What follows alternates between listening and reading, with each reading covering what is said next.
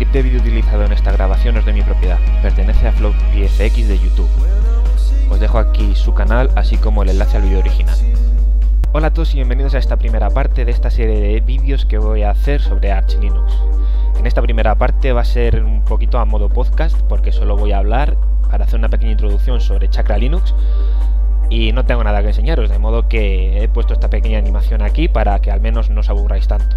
Chakra Linux es una distribución de Linux que está basada en Arch Linux. No obstante, aunque su madre sea una de las distribuciones que se consideran de las más difíciles de utilizar y de configurar, no quiere decir que Chakra haya heredado esto de su madre. Al contrario, Chakra es una distribución que está destinada a usuarios que son novatos y que no tienden a utilizar la consola para prácticamente nada. Como entorno de escritorio, Chakra utiliza por defecto KDE. De hecho, es el único escritorio que ofrece por defecto.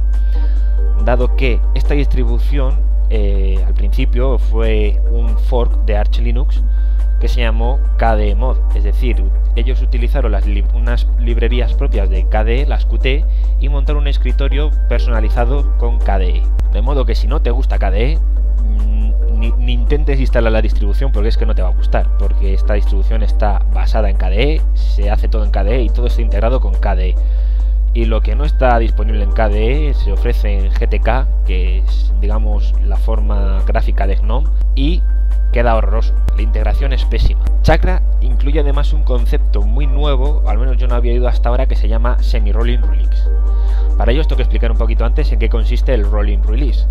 Y es que el rolling release es una forma de desarrollo de una distribución o de algo en la cual no hay versiones. Es decir, tú te instalas el, la distribución de Linux, por ejemplo Arch Linux, y te olvidas de tener que volver a instalarla nunca, porque siempre vas a tener todos los paquetes actualizados, tanto del sistema base como las aplicaciones, siempre actualizado a la última.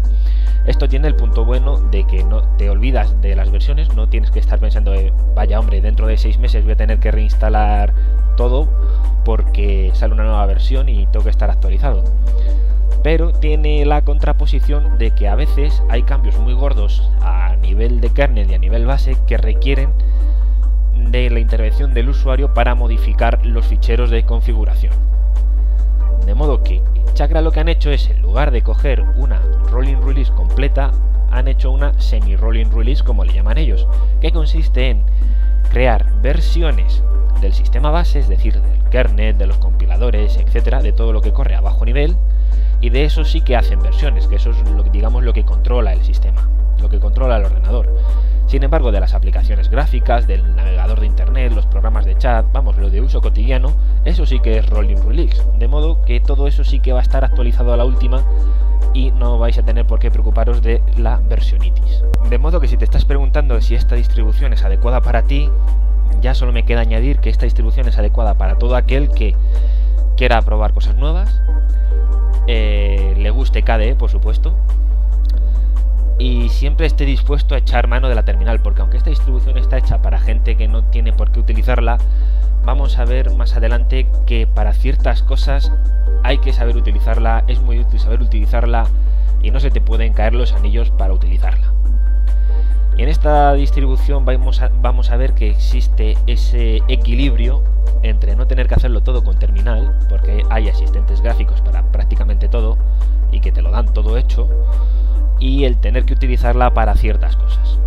De modo que si estás en esa tesitura, creo que Chakra Linux puede ser una buena alternativa y por qué no instalarla o al menos probarla. Yo me voy a poner ya a ello y os enlazo aquí el siguiente vídeo en el cual vamos a entrar a la página web, vamos a ver qué versiones hay, etc. Así que os veo allí. Hasta ahora.